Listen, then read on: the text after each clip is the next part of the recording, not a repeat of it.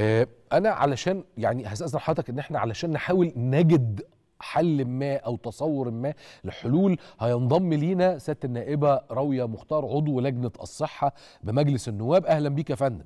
أهلا بيك أستاذ يوسف. إزاي الصحة؟ كله تمام؟ الحمد لله بخير زي الفل. الحمد لله. طب دلوقتي إحنا كنا بنتكلم مع دكتور إيهاب هيكل نقيب أطباء الأسنان وبنتكلم على أزمة بنج السنان في مصر.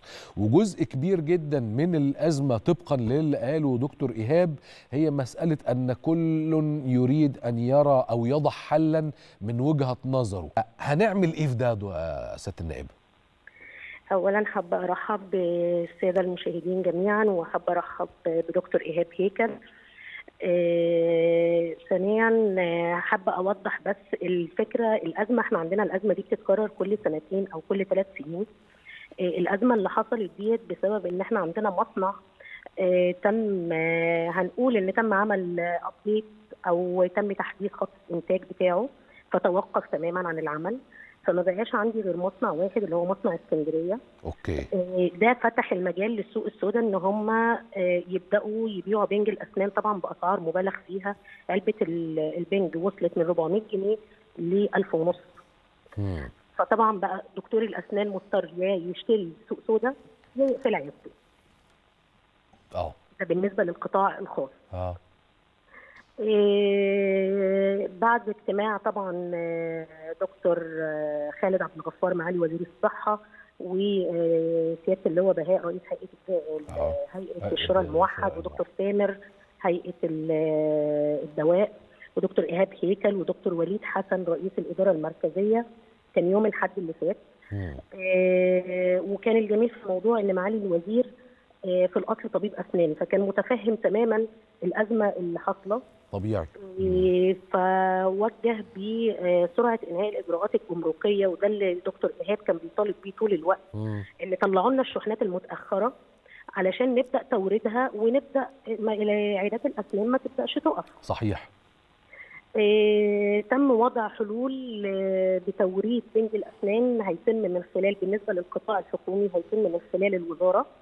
آه، الوزارة هتوزع على مديريات الصحة ومن خلال النقابات النقابات هتبدأ توزع على دكاترة الأسنان آه، وزي ما دكتور إيهاب أشار حاليا إن إحنا حاليا بيتم دراسة توزيع آه، بنج الأسنان من خلال هيئة الشراء الموحد إلى الدكاترة direct من خلال ال application.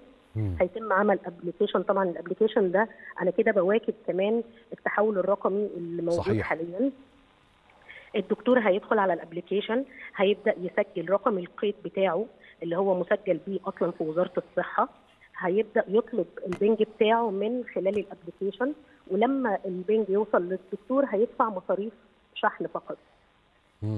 طب ياخد وقت قد إيه ده يا فندم يعني موضوع ال application آه. ده خلال شهرين إنما ال- ال- الحل الفوري اللي إحنا بنتكلم بيه واللي إحنا بننادي بيه مم. اللي هو الإفراج عن الشحنات المتأخرة الشحنات الجمركيه المتأخرة okay و آه، وآخر حاجة وبعد اتصالي طبعا مع آه، المختصين في وزارة الصحة بالظبط من ساعة تقريبا آه، عرفت إن الحمد لله هيتم توريد في حدود 2 مليون كربولة بنك من بكرة أو بعده إن شاء الله.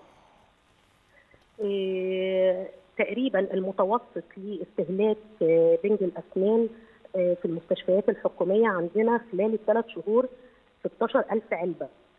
آه، الكل علبة فيها 50 كربوله يعني تقريبا أنا في الشهر بستهلك 270 ألف كربوله بنج فطبعا العدد ده قليل طبعا إن هو يغطي لي جميع المحافظات.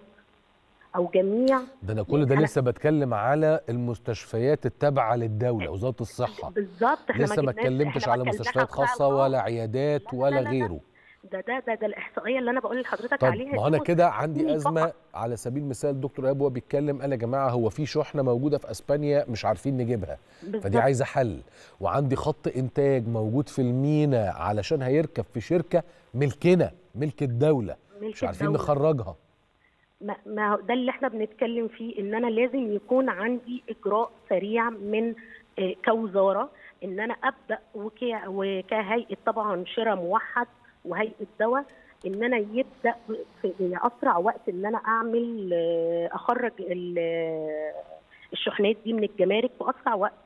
لأن أنت كده أنت أنت الركنة اللي مركونة الحاجات ال- ال- البنج مركون بالطريقة ديت أنت اوريدي بتدفع له فلوس. أنا مش- بدفع فلوس على أرضيات البنج على اللي في أسبانيا. ده على أرضيات البنج اللي في أسبانيا. لسه. ده لسه ما جاليش. يعني لسه ما اتحطش على. المركب وجالي وبعدين يخش عندي في الجمرك. ولما يجي لك ولما يجي لك هنا أنت مش هينفع تبيعه بالسعر العادي. ما انت لازم تعوض ال- الأرضيات اللي اتدفعت دي. طبعا. هترفع على هترفع سعر العلبة تاني. وتلك مأساة أخرى.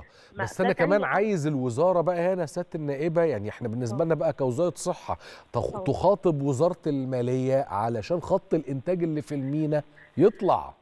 إحنا محتاجين نخاطب وزارة المالية ومحتاجين نخاطب وزير قطاع الأعمال لأن هو المنوط بشركه زي شركة وزارة قطاع اسكندرية. صحيح. آه آه، هو المنوط بيها فإحنا أنا حتى كنت بتكلم مع لسه النهارده مع دكتور إيهاب إن إحنا محتاجين وده برضو كان مطلب من النقابة إن إحنا محتاجين نحدد ميعاد مع معالي وزير قطاع الأعمال علشان يتم البت في الموضوع في أسرع وقت لأن أنا بالطريقة ديت يعني إحنا حاليا في أزمة اوريدي ما حدش يقدر ينكر الكلام ده مم. بس التخوف كله إن إنت الأزمة دي تطول كمان المستشفيات الحكومية. إحنا دلوقتي عندنا في المستشفيات الحكومية في نقص في المخزون الاستراتيجي. بالفعل ده موجود محدش يقدر ينكره. فأنت المخزون الاستراتيجي بتاعك بدأ إيه معناه ضوء أحمر بدأ ينور. أنا محتاج بسرعة ده أنا عايز الاجتماعات. يعني أنا كمواطن ولا أنا كمذيع ولا أنا حتى كنائب أقول أنا عايز الحاجات دي الأسبوع ده.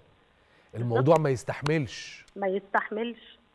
يعني إحنا إحنا إحنا كدكاترة بقى هكلمك بصفتي إن أنا كطبيبه أيوة. مش كنائبة خالص. آه. كدكاترة بدأنا نشتري آه، البنج من سوق سودا وبدأت تضطر ترفع على العيان.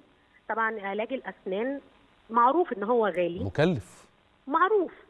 وما تقدرش إن أنت كطبيب يبقى إحنا بنضحك على بعض يبقى أنا بخسر لو أنا مم. سبت الأسعار زي ما هي. أيوه. فبالتالي انت مضطر ترفع على العيان. في ظل الأزمة الاقتصادية الحالية هو العي... ال- ال- العيان أو المواطن مش مستحمل. فبالتالي ما. يعني فعلا لازم يتم أخذ إجراء سريع وفوري لحل الأزمة ديت في أسرع وقت. يعني أنا شايفة كمان من وجهة نظري إن إحنا في ظل القيادة السياسية إحنا شفنا طفرة في المنظومة الصحية.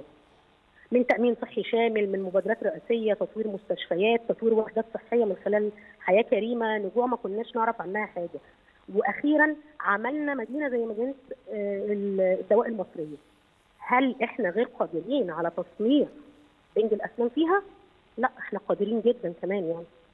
فليه ما يتمش؟ يعني شايفة من وجهة نظري إن إحنا لو فتحنا للقطاع الخاص فرص استثمار علشان أسد الفجوة المحلية القائمة حاليا وكمان نبقى فتحنا فرص جيده جدا للتصدير. يبقى أنا عندي فائض وبصدر كمان.